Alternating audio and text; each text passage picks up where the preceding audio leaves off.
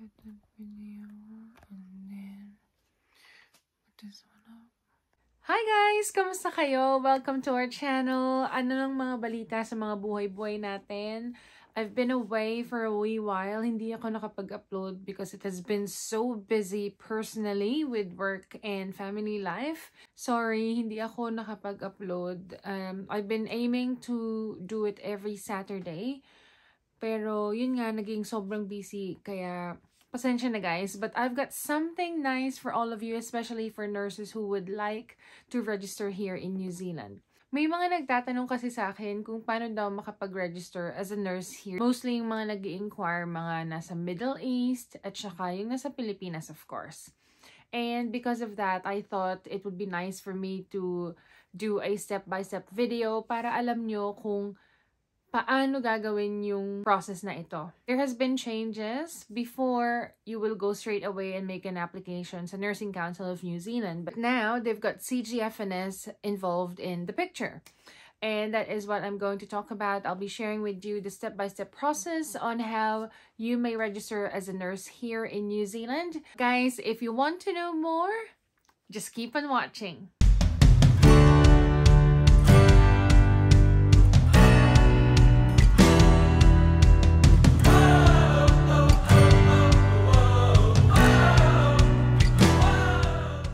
First of all, I would like to say a big thank you to all of my subscribers. And if you haven't done this yet, just click on that button as well as the notification bell so you'll always be updated whenever I upload a new video. Just a reminder, I am not an immigration lawyer. I am not an immigration consultant. I'm not an immigration advisor. And I don't work for or I am not affiliated with Immigration New Zealand, nor with CGFNS, nor with the Nursing Council of New Zealand. As I would always say, whatever I share are based on personal experiences or experiences of people that I know. And of course, based on what I do read from legitimate websites of these bodies. If you have watched my videos before, you might have encountered one wherein I mentioned that I am a registered nurse in the Philippines, but I sort of like went into a different path here in New Zealand but there's a lot of questions about how can they get registered here in New Zealand and I thought it will be a good thing for me to share to all of you guys especially I know someone who is currently working on their registration as a nurse tinulungan niya ako para mag-guide ako sa step-by-step -step process on how to become a registered nurse here in New Zealand. Without further ado guys, we'll go straight away to step number one. The first thing you need to do is to make an account under CGFNS International. You don't need to take a CGFNS examination. Let me be clear on that because I've received questions about do you need to take the examination like NCLEX. So the answer is no. CGFNS is mainly the one who makes assessments on your documentations. So everything that you submit for assessment is through CGFNS. After you've filled out all the fields that are required when you make an account, you would need to pay 300 US dollars. And once you have paid, you will receive a list of requirements displayed in your account. There are five main requirements in this stage. First is identification. So when you fill out your registration for your account with CGFNS, they will require two types of identification. In the case of the person who gave me all these information, he presented his passport and his driver's license. Now, you need to make a copy of these and you need to have it notarized before you upload it into your CGFNS for assessment.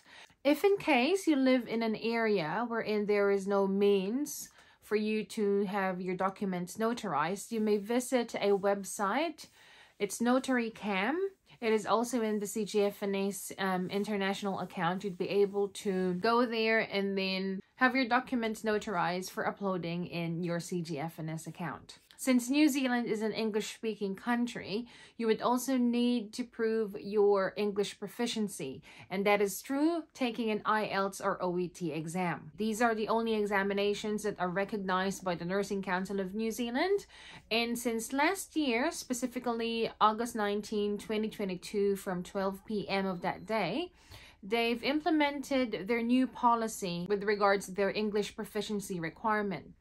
Prior to this, they require each band of the IELTS exam to be at 7. And with OET, it used to be 350 each band. I think it is the writing part that has been pretty tricky. If you have taken the IELTS, you might know what I'm talking about. Because that is the specific area wherein they implemented changes. But since they've made this change or their refreshed policy, the minimum score for IELTS writing is down to 6.5 and the minimum score for OET's writing is down to 300.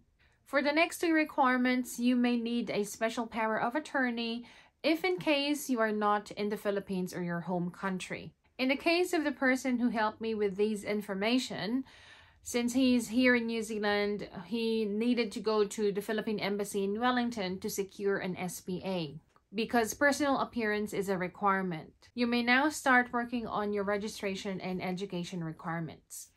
If you go to your CGFNS account, you'll see forms that you'd need to print for your school or university wherein you completed your Bachelor of Science in Nursing and forms wherein you needed to print to provide to the registration body in your home country. In the Philippines, it's the PRC or the Professional Regulation Commission. So you need to sign all of these forms. You you just go ahead and read and find the spot wherein you need to sign. After completing that one, send it to the person who is your SPA and then have them go to your school and the PRC. Just a tip, you need to make a booking before you go to PRC to secure your certificate of good standing as well as your state board verification according to other people who gone through these um, requirements with their school, some of them may take up to three months. It actually depends on the university how long they process. And then with PRC, it has been said based on what I've gathered, it's roughly up to a month before they were able to secure these documents that they require. So when you print these forms, you will see there are instructions for your school and for PRC. It is them who will send all the completed forms to CGFNS in Philadelphia. So these completely filled out forms won't go through you. It will go straight to CGFNS and once they have received it, you will see an update in your account. And um, the last requirement is your proof of employment history. Of course, you may not be able to apply to Nursing Council of New Zealand unless you've got at least two years of experience in the last five years. Of course, you need to have your certificate of employment. If it is not in English, please have them translated. And I also gathered information about some people finding it difficult to secure a certificate of employment, especially yung sa mga nasa Middle East or mga Saudi. So recently, CGFNS has started accepting self-attestation. So kumbaga parang you will be writing a narrative about your professional experience as a nurse. They do accept it apparently. But then if you've got means to secure your COE, please do. Don't make this as an excuse for you to just write a narrative about your nursing experience and not make an effort to apply for a certificate of employment from your employer. Just to give you an overview, once you've made your CGFNS account and you haven't submitted anything yet, you'll see it is noted as awaiting documents. Once they have received documents, it will change into awaiting documents for evaluation and once it is evaluated, it'll change the documents completed. And also guys, if in case you have uploaded anything and you've noticed that it has been taking a wee while under the documents awaiting for evaluation stage, don't be shy to let them know and make a follow-up. It is really important for you to maintain your communication with CGFNS, especially if it's taking a bit of more time than what you, you'd expect there's nothing wrong if you will make a follow-up and I think if this is something that you're really aiming for, you'll be a bit impatient. na talagang you'll try to ask what's happening, how come it's taking a long time.